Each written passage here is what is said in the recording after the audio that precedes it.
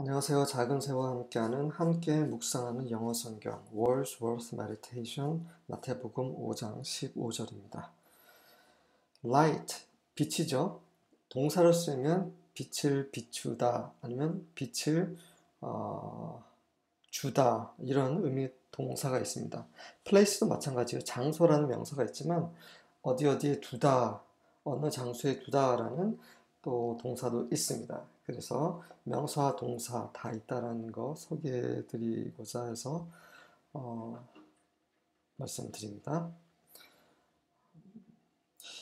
Neither do people light a lamp and put it under a bowl.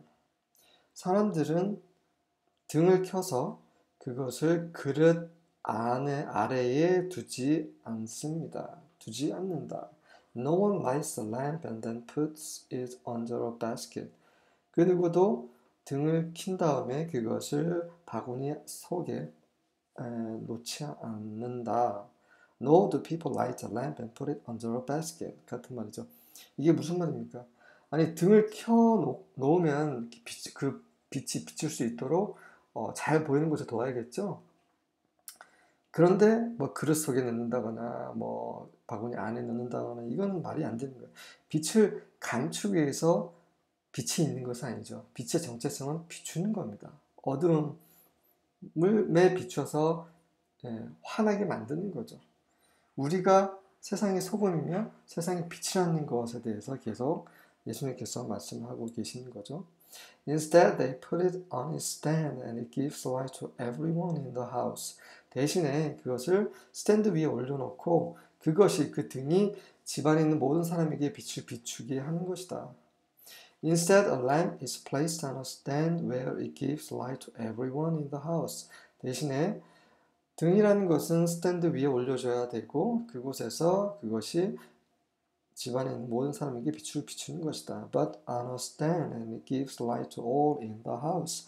하지만 그 스탠드 위에 올려놓고 그것이 모 집안에 있는 모든 사람에게 빛을 비추는 것이다.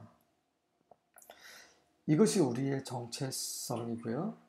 우리가 살아야 할 삶입니다. 같이 묵상하는 마음으로 읽어보겠습니다. Neither do people light a lamp and put it under a bowl. Instead, they put it on a stand, and it gives light to everyone in the house. No one lights a lamp and then put, puts it under a basket. Instead, a lamp is placed on a stand where it gives light to everyone in the house. Nor do people light a lamp and put it under a basket, but on a stand, and it gives light to all in the house. 아멘.